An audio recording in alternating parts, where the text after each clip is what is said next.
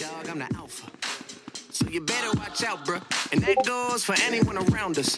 Planted the money tree with my only fucking seed, now it's sprouting. Never had a fuck to give, so I see no fucking point in counting. That's for my accountant, he's good at counting. Only